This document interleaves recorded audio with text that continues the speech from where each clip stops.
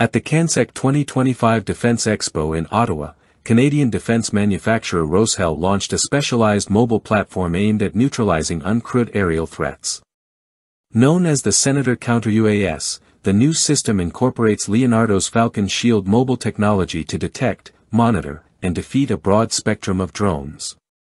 Entirely produced in Ontario, the vehicle marks Roshel's latest innovation in response to escalating drone-based threats in both military and security domains.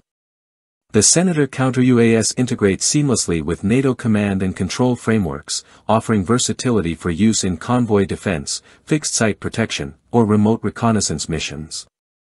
The Falcon Shield system enables real-time optical and electronic threat analysis and supports both soft kill and hard kill responses, enhancing operational flexibility across various terrains.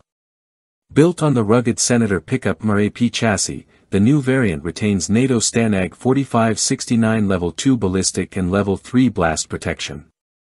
The vehicle features a modular bolted crew capsule and mine-resistant seating for simplified maintenance and superior occupant safety. It runs on a Ford F-550 platform with a 6.7L power-stroke diesel engine generating 330 horsepower and 750 Nm torque, connected to a 10-speed automatic transmission. The platform seats up to 10 personnel and can be configured with mission-specific equipment like gas and radiation detectors, winches, and tactical lighting. Over 1,800 Senator units have already been fielded in high-risk zones such as Ukraine, where Canadian and international government funding supported the bulk of procurement. Roshel's production facility, staffed by 500 employees, currently outputs up to 120 units per month, with each counter-UAS system costing approximately $600,000. Leonardo's Falcon Shield is a modular and scalable suite designed for full-spectrum drone mitigation. It uses 360 degrees radar, stabilized EO/IR sensors, thermal and visual cameras, and laser rangefinders.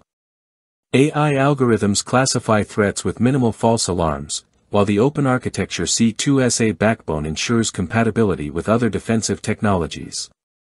Capabilities include pinpoint detection, tracking, geolocation, and signal disruption through electronic warfare, usable in both stationary and mobile operations.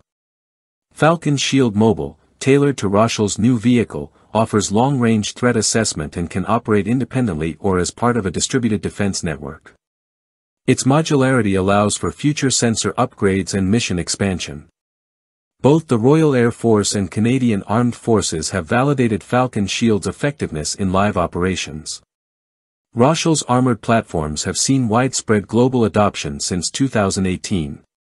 In addition to their counter-UAS configuration, the Senator series has been deployed in roles ranging from medical evacuation to riot control.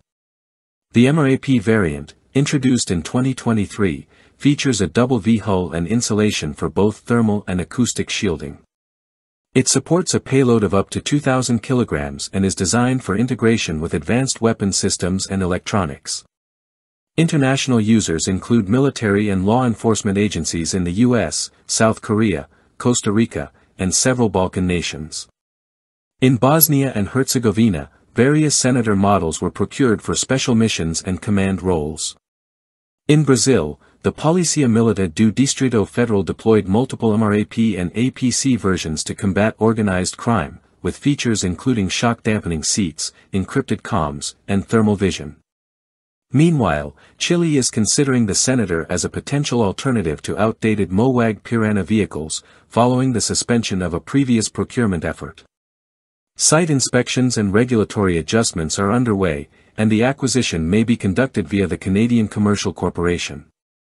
Complementing the Senator, Roshel's smaller Captain vehicle, based on the Toyota Land Cruiser 70, offers lighter protection and mobility.